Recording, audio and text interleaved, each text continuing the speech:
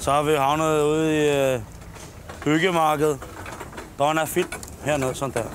Så pepper jeg selv arbejdskælderen op med lidt krydsfinder, lidt spåndplader, lidt metalbeslærende og øh, skarpslippen værktøj, der kan rive igennem, hvis I forstår, hvad jeg mener.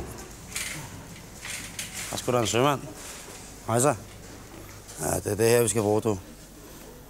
Kunne man ikke få en lidt større? Jo, der, der er den sgu. Jeg kan godt fortælle, du. Når man har haft besøg af sådan et par dejlige fyre fra, fra station 1, så er der kun én ting, der er bruges til at gøre rent med, du.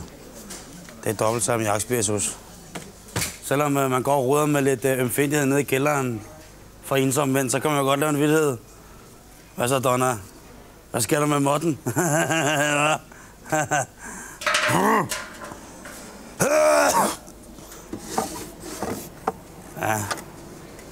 Kan du huske, hvor dyb perledykkeren er?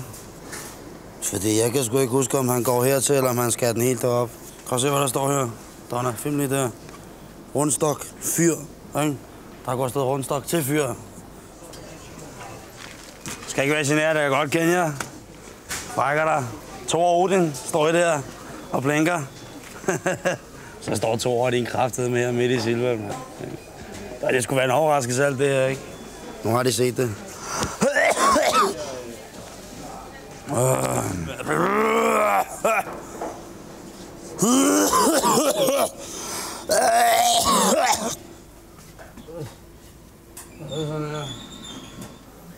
Donna, skulle du have lidt, hvis du forstår, hvad jeg mener? Hold kæft, mand.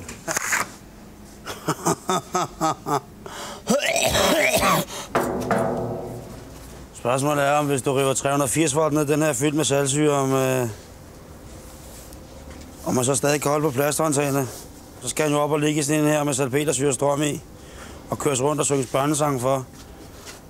På det tidspunkt var der ham der, som ville kaldes farmand og havde lavet mange. Og skulle skulle give ham en gang for alle. Sådan 1400 hver tøjsrygsrenser, der skulle nok kunne spule igennem. Så skal du se her. Hej, skal du se her.